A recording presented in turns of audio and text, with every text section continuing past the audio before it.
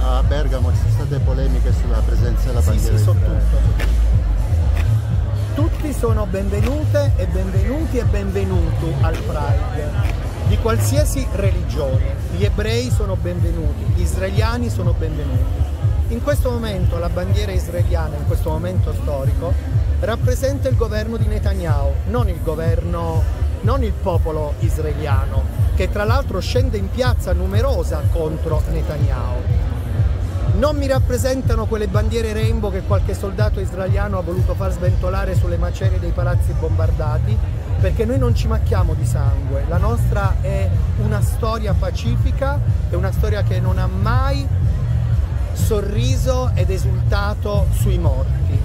I diritti civili, di cui bisogna parlare in Palestina, questo è vero, non si esportano con le bombe, non si esportano con le morti, non si esportano con la strage di bambini, di donne e di uomini.